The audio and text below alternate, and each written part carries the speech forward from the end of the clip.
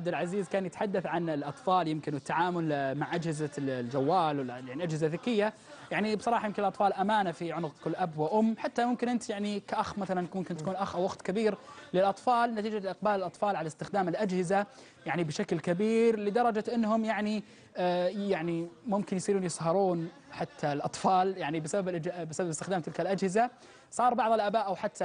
من الأخوة الكبار يستخدمون الطرق التقليدية في التوجيه الشفوي لأبنائهم يعني مثلا الطريقة هذه يمكن ما راح ما صارت مجدية بعد انتشار الأجهزة بشكل كبير من خلال بعض التطبيقات آه، التحكم بأجهزة الأطفال من خلال جهازك الآيفون أو سواء الأندرويد تطبيق اور باكت يساعد في التحكم بأجهزة أطفالك آه، أو أخوانك الصغار تحمله على المتجر وتقدر تتحكم وش يدخلون عليه وش ما يدخلون عليه يعني بشكل يعني زي